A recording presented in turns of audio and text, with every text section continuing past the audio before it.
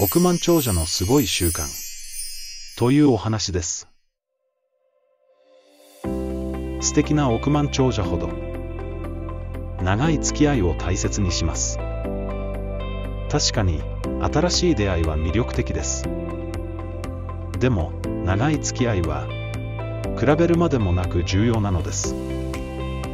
この優先順位を間違えてはいけません。ある億万長者から、詐欺師には10年来の親友なんていないんだよ。と聞いたことがあります。詐欺がバレると、それまでの人間関係が一掃されてしまうのがその理由です。なるほど、誰も好き好んで詐欺師とは友達になりませんものね。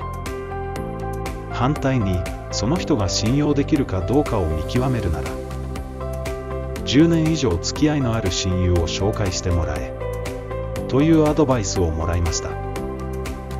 昔の知人ではなく、月に一度は交流しているような間柄で、10年超えの人なら、その信用はとても強固になります。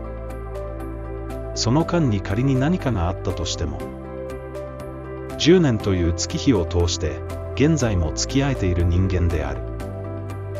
という事実は、揺るぎない信用の証と言えるでしょう。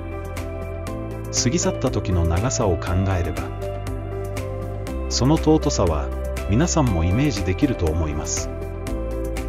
相手を簡単に裏切るようでは、実現しない関係です。長い付き合いこそ大切にするという価値観を持てば、おのずと行動が変わります。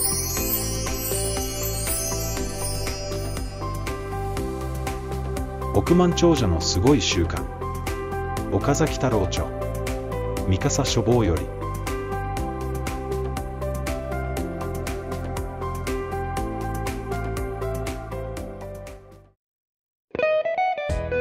最後までご視聴いただき、本当にありがとうございます。チャンネル登録、コメント、いいねをいただきますと、今後の励みになります。